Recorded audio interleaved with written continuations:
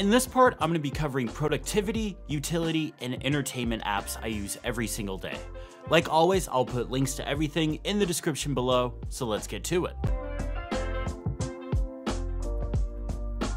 All of my writing outside of writing code and documentation for my day job, which we covered in the last part, is done in Drafts. Drafts is a markdown text editor, but also supports a few other languages as well, including TaskPaper. I use this to write notes throughout the day, store snippets of text, and make checklists.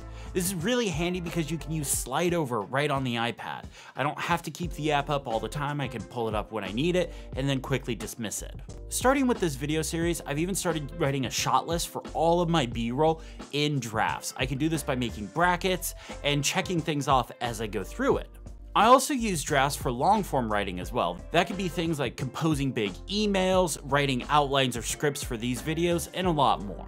I use workspaces to manage everything. Now, workspaces rely on tags to basically organize certain content in certain categories. So I have a script workspace, a day job workspace, a shot list, notes, etc.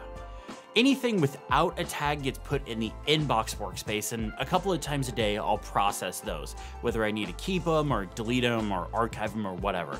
This is kind of like what I do with the inbox with things as well, which I talked about in part one of this series. I also pair shortcuts with drafts as well. I can use this to create a new note or draft, make a checklist, or even open a workspace. I use drafts a lot like how people are using Notion or Roam, but I like drafts a lot more than those because it's a native app on my favorite computer. I'm not a big fan of using web apps or even Electron apps when you could use a really good native app. Now, the next one is more than just an app, it's a service, and it's Airtable. Now, I know I just said I'm not a big fan of using web views or web apps, uh, but I haven't really found a native app that can do what Airtable can do as well as what Airtable can do. So that's why I've kind of settled with Airtable. Now, Airtable is a database service. I use this for storing ideas for videos, a database of shortcuts I want to back up, and a few other things as well.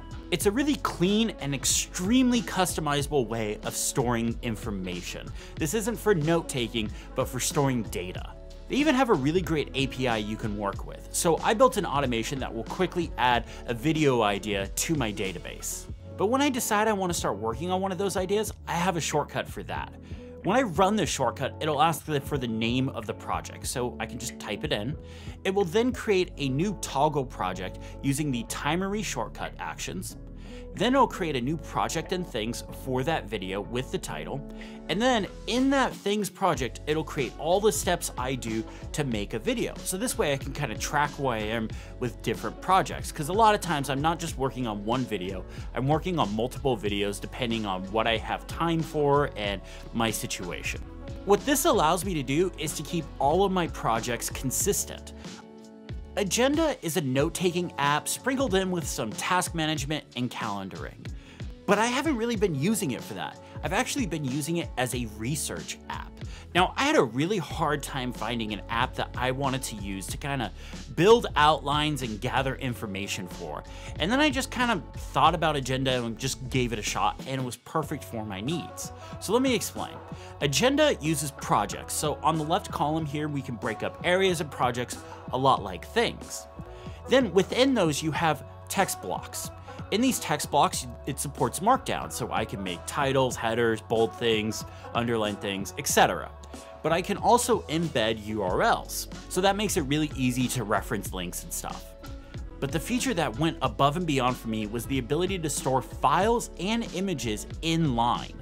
So you can drag and drop files right in those text blocks, and then you can change the way they're previewed. You can set them as items or inline images or however you want to do it. This has been the perfect tool for doing all of my iPad OS 14 research, along with a few other video projects that I'm working on.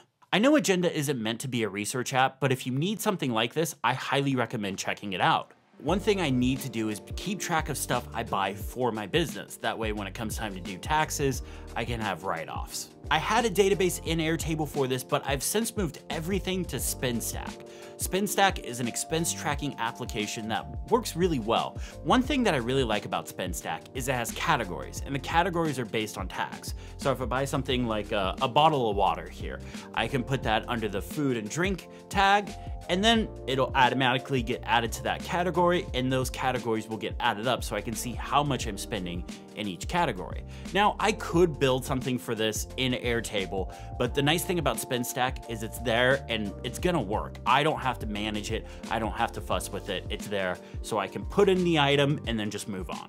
One of my favorite apps to come out recently is an app called DataJar. DataJar is an app that I pair with shortcuts a lot to store or reference information, data, files, text, really anything. One of the shortcuts I use the most that interacts with DataJar is my clipboard manager.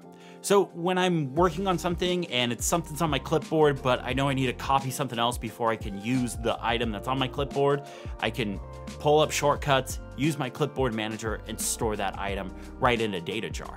Then when I need to get it, I run that shortcut again, select get item, pick the item, and it adds it right back to my clipboard. Really simple shortcut, but I use it probably as much as my time tracking shortcut every single day.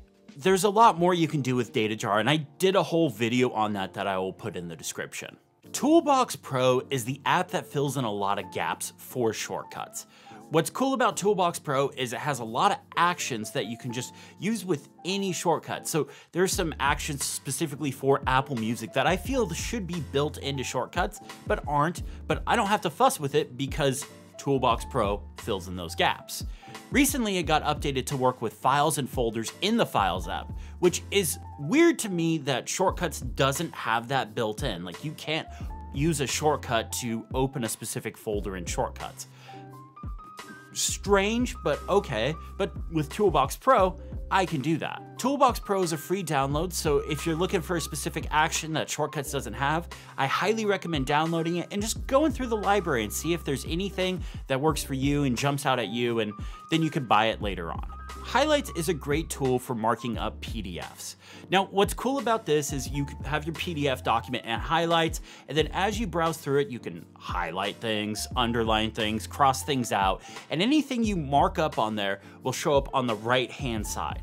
So I don't use this for like my video projects or anything like that a lot, but I do use it for my day job. Whenever I'm researching software or hardware or whatever, I'll download the PDF document for it, go through it, mark up the important bits, and it'll be there on that right hand side. So that way I don't have to go back through the PDF if I was like, okay, I know one of these pieces of software had this feature, but I can't remember which. I could just pull up the PDF documents for that and look at the, the highlighted, the marked up part instead of going through the whole PDF. It's really handy for dealing with PDFs and researching if all of your stuff is in PDF form. Mind mapping was never something that really clicked with me. I'll, I'll be honest, I, I just never really got it.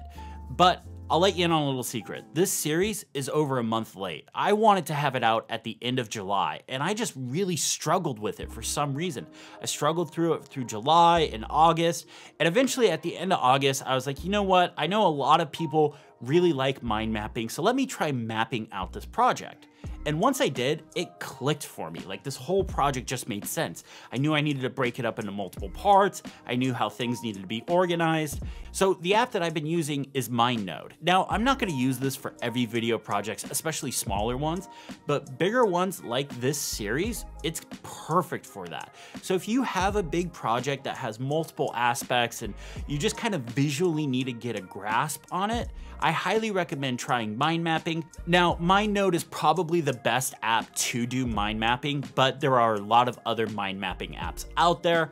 I just like MindNode because visually it's a very nice app and it has all the features that I want, including the ability to export your mind maps as text files so I can export the whole map as an outline for a video. That way I don't have to retype everything.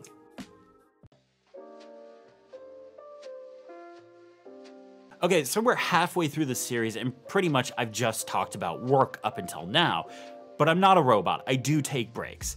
And a part of that is just kind of relaxing, reading news, watching videos, and things like that. And of course, I use my iPad for that a big part of, you know, relaxing for me is kind of still doing my job. I like to use RSS to keep up on news. It allows me to stay up on tech blogs, indie websites, things like that, so I can kind of see what's happening in the tech and Apple world. The service that I use for RSS is Feedbin. Feedbin is a great service, but it is a paid for service. But what attracted me to it was the fact that when you sign up for it, you get an email address, and you can use that email address for newsletters. I have a lot of friends and people I like on the internet that do that, so instead of me putting in my email address, I just put in this one from Feedbin, and now everything shows up in Feedbin. As we talked about in a previous series, I already struggle with email, and I don't want extra email showing up in my inbox that I'm not going to do anything with when you know I'm writing and replying to emails. To me, a newsletter makes way more sense to show up in RSS. Now, the RSS client I use is NetNewsWire. I could just use Feedbin from their website, but NetNewsWire is a great RSS client that's been around for a really long time. In fact, I believe it's an open source project now, um, and it's free to download. NetNewsWire has a good clean UI, and it has a great share sheet, so I can share things to my Read It Later service, GoodLinks. I, like everyone, like using my iPad to watch video, mostly YouTube, Netflix, and the other usual suspects. What's really great about watching video on the iPad as opposed to your phone or anything like that is you have a nice big screen. Plus you have that four speaker array. The four speaker array sounds really great, especially considering the size of the device. And the display is really great too. It's not 4K and it doesn't have true HDR. It just doesn't get bright enough for that, but it still looks great for, in my case, a 13 inch display or an 11 inch display it looks really good to watch video on. Now, I'm not to give up watching movies on my TV in my living room, but when I'm traveling or whenever I can travel, it's nice to have the option to watch videos, movies, TVs, right on the iPad. A lot of times when I sit down for lunch, I'll just watch a YouTube video or a couple of YouTube videos while eating lunch. So that's it for part three. In part four, we're gonna be covering all the hardware and stuff that I use with my iPad, so be sure to subscribe. I'll put links to everything that I talked about in this video and all the other parts to this series in the description below. Thank you all so much for watching and have a great day.